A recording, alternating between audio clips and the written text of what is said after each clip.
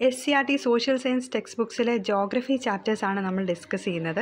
ഈ വീഡിയോയിൽ പറയുന്നത് നയൻത് സ്റ്റാൻഡേർഡിലെ ചാപ്റ്റർ നമ്പർ വൺ ആണ് സൺ ദ അൾട്ടിമേറ്റ് സോഴ്സ് ഈ ചാപ്റ്ററിന്റെ first part video already upload ചെയ്തിട്ടുണ്ട്. ഇത് സെക്കൻഡ് പാർട്ടാണ് അടുത്ത ടോപ്പിക് ഇതാണ് വാട്ടർ ഇൻ ദ അറ്റ്മോസ്ഫിയർ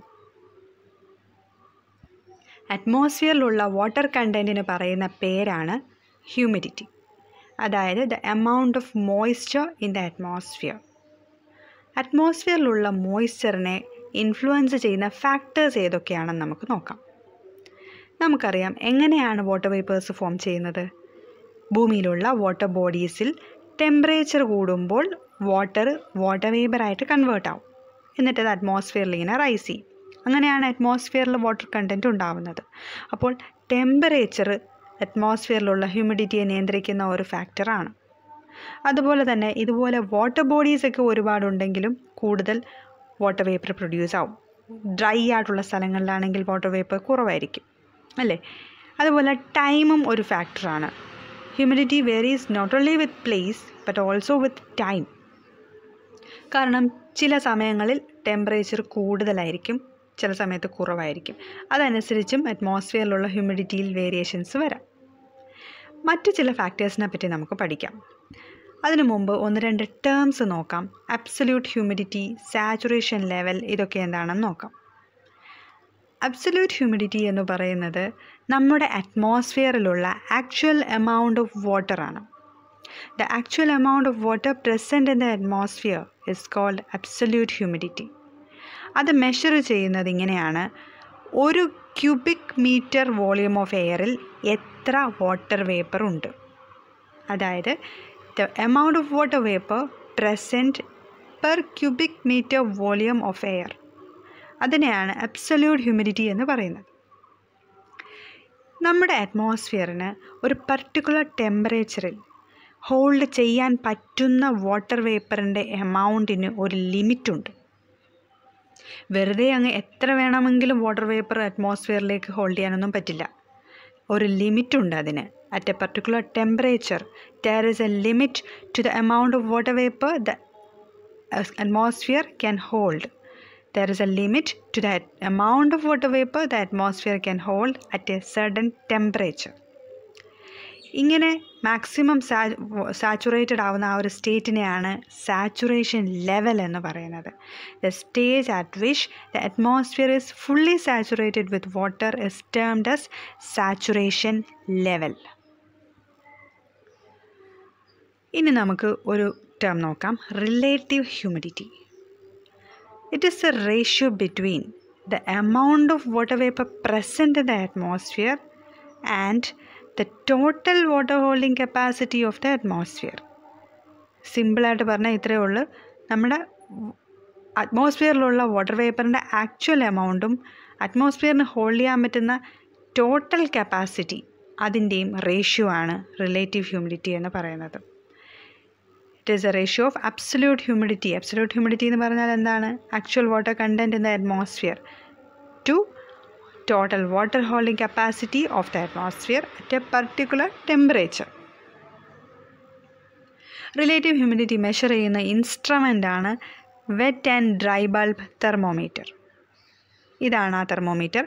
ഇതിൽ രണ്ട് തെർമോമീറ്റേഴ്സ് ഉണ്ട്. വെറ്റ് ബൾബ് ഉള്ളതും ഡ്രൈ ബൾബ് ഉള്ളതും. ഡ്രൈ ബൾബ് തെർമോമീറ്റർ എന്ന് പറയുന്നത് നോർമൽ അറ്റ്മോസ്ഫിയറിക് ടെമ്പറേച്ചർ മെഷർ ചെയ്യുന്നതാണ്. എന്നാൽ രണ്ടാമത്തേത് രണ്ടാമത്തെ തെർമോമീറ്ററിന്റെ ബൾബ് വെറ്റാക്കി വെച്ചിരിക്കുകയാണ്. എങ്ങനെയാണ്? By wrapping it in a wet muslin cloth ഇതിനെയാണ് വെറ്റ് ബൾബ് തെർമോമീറ്റർ എന്ന് പറയുന്നത്. ഈ തെർമോമീറ്ററിന്റെ ബൾബ് വെറ്റ് ആയതുകൊണ്ട് തന്നെ അതിൽ കാണിക്കുന്ന temperature is lower than the normal temperature ഈ രണ്ട് തെർമോമീറ്റേഴ്സും തമ്മിലുള്ള റീഡിങ്ങിന്റെ ഡിഫറൻസ് ഉപയോഗിച്ചിട്ടാണ് റിലേറ്റീവ് ഹ്യൂമിഡിറ്റി കണ്ടുപിടിക്കുന്നത്. അതിന്റെ ഒരു ചാർട്ടാണ് ഈ കാണിച്ചിരിക്കുന്നത്. സബ്ലിമേഷൻ. നമുക്കറിയാം സാധാരണഗതിയിൽ ടെമ്പറേച്ചർ കുറയുകയാണെങ്കിൽ വാട്ടർ വേപ്പറിന് എന്ത് സംഭവിക്കും? വാട്ടർ വേപ്പർ വാട്ടർ ഡ്രോപ്ലെറ്റ്സ് ആയിട്ട് കൺവേർട്ട് ആവും എന്നാൽ ചില സമയങ്ങളിൽ അറ്റ്മോസ്ഫിയറിക് ടെമ്പറേച്ചർ വളരെ പെട്ടെന്ന് തന്നെ ചെറിയ വാല്യൂവിലേക്ക് കുറയും. തീരെ ചെറിയ വാല്യൂ അങ്ങനെ വരുമ്പോൾ വാട്ടർ വേപ്പർ ഡയറക്റ്റ് ആയിട്ട് സോളിഡ് സ്റ്റേറ്റിലേക്ക് മാറും. അതിനെയാണ് സബ്ലിമേഷൻ എന്ന് പറയുന്നത്. ക്ലൗഡ്സ് എങ്ങനെയാണ് ഫോം ചെയ്യുന്നതെന്ന് നമ്മൾ ഓൾറെഡി പഠിച്ചതാണ് എയ്ത്ത് സ്റ്റാൻഡേർഡിൽ വെച്ച്. അല്ലേ? ഒന്നുകൂടി പറയാം. നമ്മുടെ എർത്തിലുള്ള വാട്ടർ ബോഡീസിൽ നിന്നും ടെമ്പറേച്ചർ കൂടുമ്പോൾ ഇവോപ്പറേഷൻ സംഭവിച്ചിട്ട് വാട്ടർ വാട്ടർ വേപ്പറായിട്ട് കൺവേർട്ട് ആവും. എന്നിട്ട് ഈ വാട്ടർ വേപ്പർ അറ്റ്മോസ്ഫിയറിലേക്ക് റൈസ് ചെയ്യും. അറ്റ്മോസ്ഫിയറിൽ വാട്ടർ വേപ്പറിനെ കൂടാതെ ഡസ്റ്റ് പാർട്ടിക്കിൾസും ഉണ്ട്. പർട്ടിക്കുലേറ്റ് മാറ്റർ എന്ന് പറയും. ഇനി ഈ വാട്ടർ വേപ്പർ അപ്പർ അറ്റ്മോസ്ഫിയറിൽ എത്തുമ്പോൾ അവിടെ ടെമ്പറേച്ചർ കുറവാണ്. ടെമ്പറേച്ചർ കുറയുമ്പോൾ വാട്ടർ വേപ്പറിന് എന്താ സംഭവിക്കും?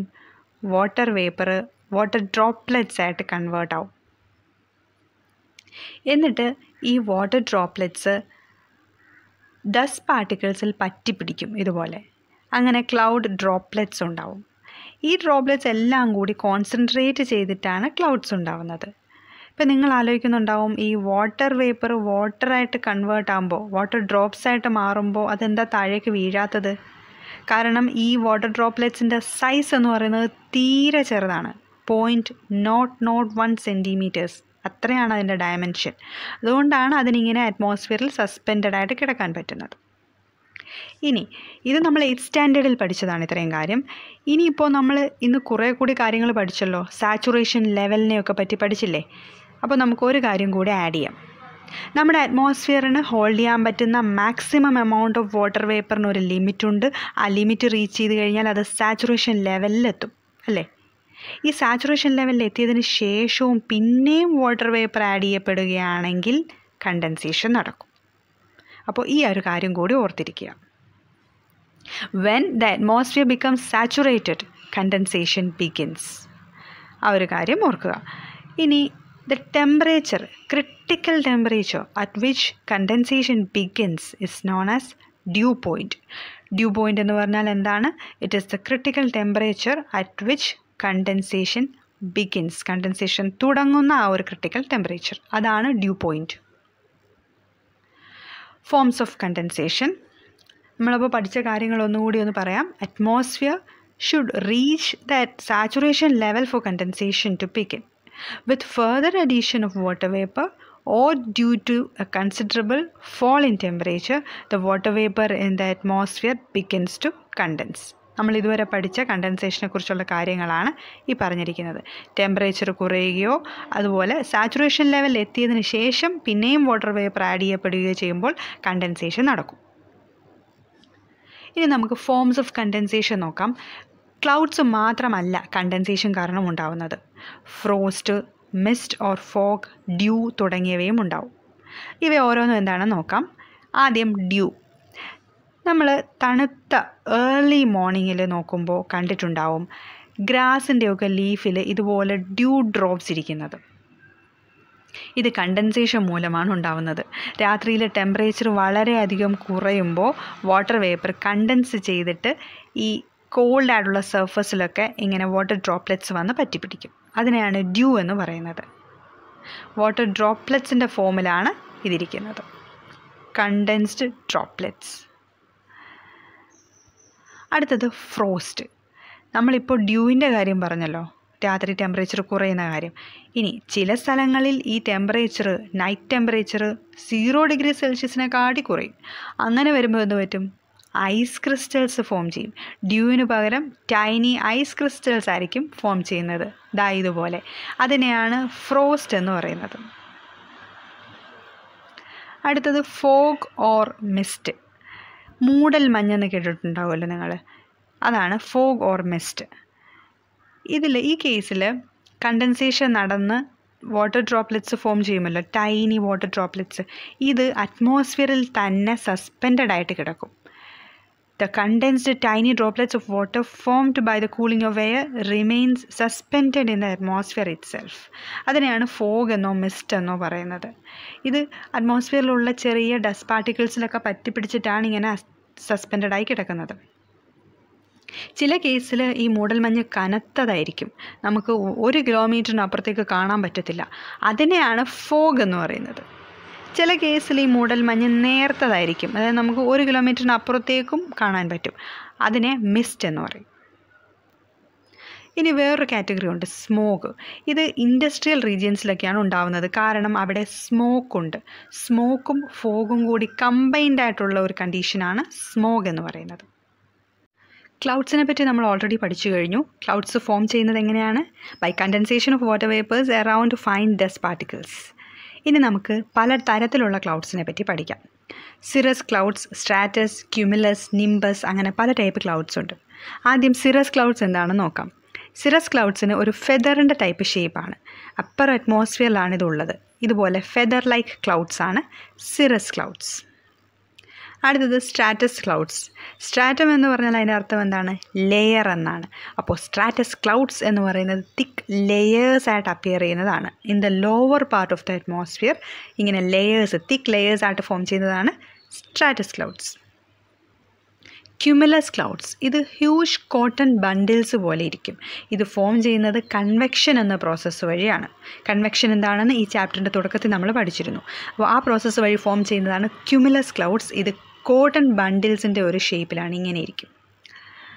വെർട്ടിക്കലി ഇതിന് നല്ല ഹൈറ്റും കാണും. വെർട്ടിക്കൽ എക്സ്റ്റെന്റും ഉണ്ടാവും. അടുത്തത് നിംബസ് ക്ലൗഡ്സ്. ഇത് കാണുമ്പോഴേ അറിയാം ഡാർക്കായിട്ടുള്ള ക്ലൗഡാണ്. അതായത് റെയിൻ ഉണ്ടാക്കുന്ന ക്ലൗഡാണിത്. ഇത് ഡാർക്ക് ആവാനുള്ള റീസൺ എന്ന് പറയുന്നത് ഇതിൽ ഒരുപാട് കോൺസെൻട്രേറ്റഡ് ആയിട്ട് വാട്ടർ ഡ്രോപ്ലെറ്റ്സ് ഉണ്ട്. അതുകൊണ്ട് തന്നെ ഇതിൽ കൂടി സൺലൈറ്റ് പാസ് ചെയ്യത്തില്ല. അതുകൊണ്ട് ഇത് ഡാർക്കായിട്ട് അപ്പിയർ ചെയ്യുന്നു. അതാണ് നിംബസ് ക്ലൗഡ്സ്. ഈ പറഞ്ഞ ക്ലൗഡ്സ് ഇൻഡിപെൻഡന്റ് ആയിട്ട് തന്നെ ആവണമെന്നില്ല എപ്പോഴും നിൽ നിലനിൽക്കുന്നത്. ഇവ ഇവ തമ്മിലൊരു കോമ്പിനേഷനായിട്ടും ഉണ്ടാവും. അതിന്റെ ഒരു എക്സാമ്പിളാണ് ക്യുമുലോ നിംബസ് ക്ലൗഡ്സ് ക്യുമുലസ് ക്ലൗഡും നിംബസ് ക്ലൗഡും കൂടെ ചേർന്ന ഒരു കോമ്പിനേഷനാണ് ക്യുമുലോ നിംബസ് ക്ലൗഡ്സ് ഇതുപോലെ ക്ലൗഡ്സ് പല ഹൈറ്റിലുണ്ടാവും അതനുസരിച്ച് നമ്മൾ high clouds medium clouds low clouds അതുപോലെ clouds with great vertical extent എന്നൊക്കെ പറയും. ഹൈറ്റിന്റെ അടിസ്ഥാനത്തിൽ. പ്രസിപ്പിറ്റേഷൻ നമ്മൾ ക്ലൗഡ്സ് ഫോം ചെയ്യുന്നത് എങ്ങനെയാണെന്ന് പഠിച്ചു അല്ലേ? ക്ലൗഡ്സ് ഫോം ചെയ്ത് കഴിഞ്ഞിട്ട് വീണ്ടും വീണ്ടും കണ്ടൻസേഷൻ ഉണ്ടാകുമ്പോൾ ഈ ക്ലൗഡ്സ് സൈസിൽ ഗ്രോ ചെയ്യും. ഇതിലുള്ള ഡ്രോപ്ലെറ്റ്സിന്റെ എമൗണ്ട് കൂടും. അങ്ങനെ വരുമ്പോൾ ഇതിന് ഗ്രാവിറ്റേഷണൽ എർത്തിന്റെ ഗ്രാവിറ്റേഷണൽ ഫോഴ്സിനെ താങ്ങി നിൽക്കാനുള്ളൊരു കപ്പാസിറ്റി ഉണ്ടാവത്തില്ല. ചെറുത്ത് നിൽക്കാനുള്ള കപ്പാസിറ്റി ഉണ്ടാവത്തില്ല. അപ്പോൾ എന്ത് പറ്റും? ഈ ക്ലൗഡ്സിൽ നിന്നും ഡ്രോപ്ലെറ്റ്സ് ആയിട്ട് വാട്ടർ റിലീസ്ഡ് ആവും. അതിനെയാണ് പ്രസിപ്പിറ്റേഷൻ എന്ന് പറയുന്നത്. ഈ പ്രസിപ്പിറ്റേഷൻ തന്നെ പല രീതിയിൽ സംഭവിക്കും. റെയിൻഫോൾ അതായത് മഴത്തുള്ളികളായിട്ട് വരുന്നതാണ് റെയിൻഫോൾ പിന്നെ ചെറിയ മഞ്ഞായിട്ട് മഞ്ഞുതുള്ളികളായിട്ട് വരുന്നതാണ് സ്നോഫോൾ എന്ന് പറയുന്നത്. ടൈനി ക്രിസ്റ്റൽസ് ഓഫ് ഐസ് ആയിട്ട് ഫോം ചെയ്യുന്നതാണ് സ്നോഫോൾ പിന്നെ ഐസ് പെല്ലറ്റ്സിന്റെ ഫോമിൽ വരും. ഹെയിൽ സ്റ്റോൺസ് ആലിപ്പഴം എന്ന് പറയും. ഹെയിൽ സ്റ്റോൺസ് എന്നാണ് അതിന് പറയുന്നത്. ഇങ്ങനെ പല ടൈപ്പ് പ്രസിപ്പിറ്റേഷൻസ് ഉണ്ട്. ഇനി നമുക്ക് പലതരത്തിലുള്ള റെയിൻഫോൾസിനെ കുറിച്ച് പഠിക്കാം. ആദ്യം ഓറോഗ്രഫിക് റെയിൻഫോൾ കടലിൽ നിന്നും കാറ്റ് വീശുമ്പോൾ അതിൽ മോയ്സ്ചർ ഉണ്ടാവും. അതായത് വാട്ടർ വേപ്പർ കണ്ടന്റ് ഉണ്ടാവും. ഇങ്ങനെ വരുന്ന കാറ്റ് ഇതുപോലുള്ള മൗണ്ടൻ സ്ലോപ്സിന് ലോങ് ആയിട്ട് ഇങ്ങനെ അപ്വേർഡ്സ് മൂവ് ചെയ്യും. മൂവ് ചെയ്ത് ഇത് മുകളിലെത്തി കഴിയുമ്പോൾ അവിടെ ടെമ്പറേച്ചർ കുറവാണ്. അപ്പോൾ കണ്ടൻസേഷൻ ഉണ്ടാവും. അങ്ങനെ ക്ലൗഡ്സ് ഫോം ചെയ്യും. അത് കാരണം മൗണ്ടന്റെ ഈ ഒരു സൈഡ് അതായത് വിൻഡ് വരുന്ന സൈഡിൽ റെയിൻഫോൾ കിട്ടും. അങ്ങനെ വിൻഡ് വരുന്ന സൈഡിന് പറയുന്ന പേരാണ് വിൻഡ്വേർഡ് സൈഡ് അവിടെ ഹെവി റെയിൻഫോൾ കിട്ടും. എന്നാൽ ഈ കാറ്റ് വരുന്നതിന്റെ ഓപ്പോസിറ്റ് സൈഡ് ഉണ്ടല്ലോ ഈ സൈഡ് ഈ സൈഡിന് പറയുന്ന പേരാണ് ലീവേർഡ് സൈഡ് അവിടെ മഴയൊന്നും കിട്ടുകയില്ല. അതുകൊണ്ട് തന്നെ ആ റീജിയൻ അറിയപ്പെടുന്നത് റെയിൻ ഷാഡോ റീജിയൻസ് എന്നാണ്. അടുത്തത് കൺവെക്ഷനൽ റെയിൻ കൺവെക്ഷൻ എന്ന പ്രോസസ്സ് നമ്മൾ ഈ ചാപ്റ്ററിന്റെ തുടക്കത്തിൽ പഠിച്ചിരുന്നു അല്ലേ? എയർ ഹീറ്റഡ് ആവുമ്പോൾ അത് മുകളിലേക്ക് ഇങ്ങനെ റൈസ് ചെയ്യും. വാം എയർ റൈസ് ചെയ്ത് മുകളിൽ ചെല്ലുമ്പോൾ അത് കൂൾഡ് ആവും. കൂൾഡ് ആയി കഴിയുമ്പോൾ എന്ത് പറ്റും? കണ്ടൻസേഷൻ നടന്ന് ക്ലൗഡ്സ് ഫോം ചെയ്യും. അങ്ങനെ ഉണ്ടാകുന്ന ക്ലൗഡ്സ് ആണ് cumulus clouds cumulus clouds are formed by the cooling and condensation of rising warm air അത് കാരണം റെയിൻഫോൾ ഉണ്ടാവും.